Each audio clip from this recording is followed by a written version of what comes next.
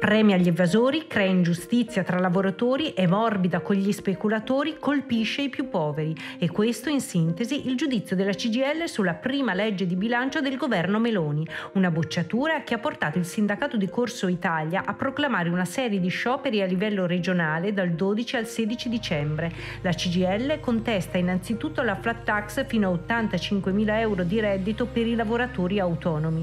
Una misura, osserva, che rende ancora più ingiusto il sistema fiscale. I lavoratori dipendenti, a parità di reddito, infatti, finirebbero per pagare il triplo di tasse rispetto agli autonomi. Sono criticate poi le varie misure di tregua fiscale, così come quelle sul POS e l'aumento del tetto ai contanti. Con queste scelte, dice la CGL, si favorisce evasione e malaffare e si aiuta chi le tasse non le paga, dando uno schiaffo ai contribuenti onesti.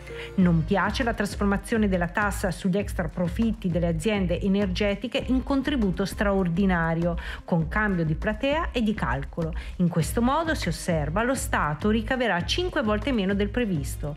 Gravissimo poi per il sindacato è il ritorno dei voucher, quelli contro cui la CGL aveva raccolto le firme per un referendum. Così facendo si aumenta la precarietà di giovani e donne. Nulla per il Sud e per aumentare i salari. Non convince nemmeno il capitolo pensioni.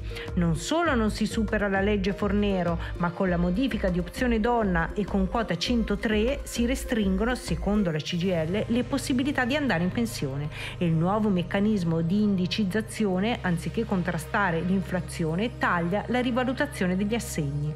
Quanto alle misure sul caro energia, per il sindacato di Corsa Italia sono solo una proroga di misure precedenti e per di più di corto respiro, perché limitate al primo trimestre del prossimo anno.